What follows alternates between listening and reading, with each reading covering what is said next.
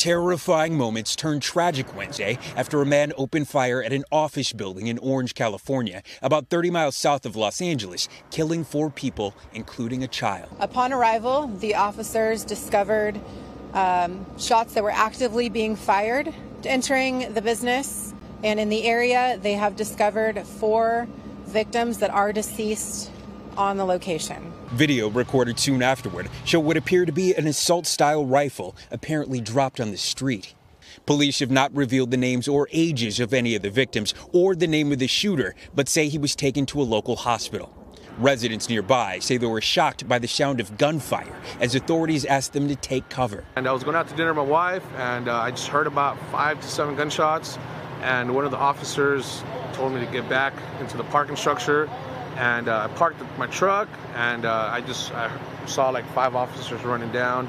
I heard other gunshots, so I stood behind the wall. And- Overnight, California Governor Gavin Newsom tweeting, horrifying and heartbreaking. Our hearts are with the families impacted by this terrible tragedy tonight.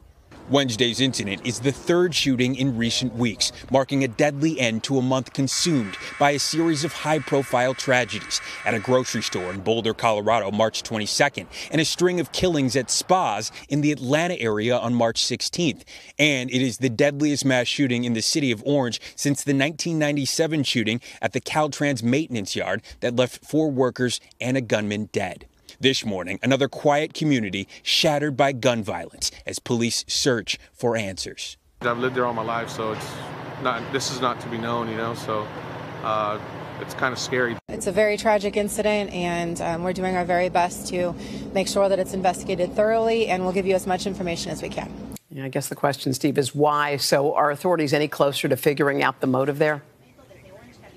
Yeah, Hoda, it's still very early in this investigation. One of the first things they still needed to do is determine a timeline, nailing down a sequence of events of what happened, where, and when in a scene they say is about two floors of that office complex and the courtyard, all, of course, under investigation.